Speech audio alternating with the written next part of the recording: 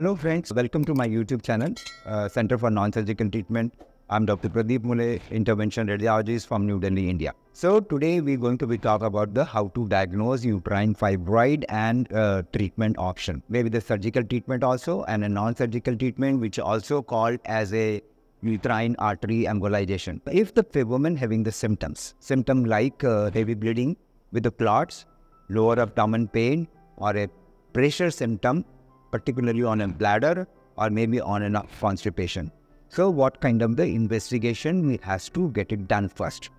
So number one is the basic is the ultrasonography, USG, lower abdomen to see the how is the situation and what kind of the things is there in the uterus, right? And ultrasonography this is the basic and cheap investigation. So first thing to get it done that, right?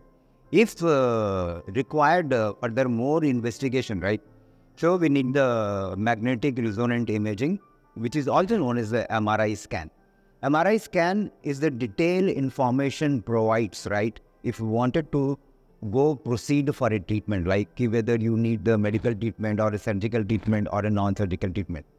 So treatment option. Suppose in ultrasound and MRI diagnose the uterine fibroid so at least we can know that like your fibroid location, size, number of the fibroid, this everything, right? According to that, we choose the options.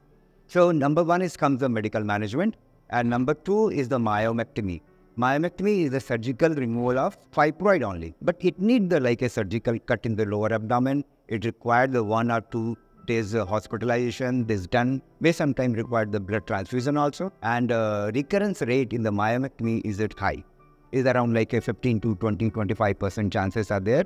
Uh, recurrence. Recurrence means होता है कि फिर से हो सकता है कि नहीं हो सकता है. But in myomectomy, another problem comes, right? Uh, if the bleeding is there so much, right? So chances are there uterus need to be removed at the time of a myomectomy only. Another option is there the surgical removal of uh, uterus, which is also known as the hysterectomy. Non-surgical treatment option, right, which normally people they don't know about that, right, which is the uterine artery embolization, which also known as the uterine fibroid embolization. So what I feel that like the best treatment option uh, for a uterine fibroid treatment is the uterine artery embolization. And further more information, uh, if you need it, right, uh, so you can log into the my website www.indianinterventionradiology.com. You can WhatsApp me your reports and other things on uh, WhatsApp number 98104 Thank you very much.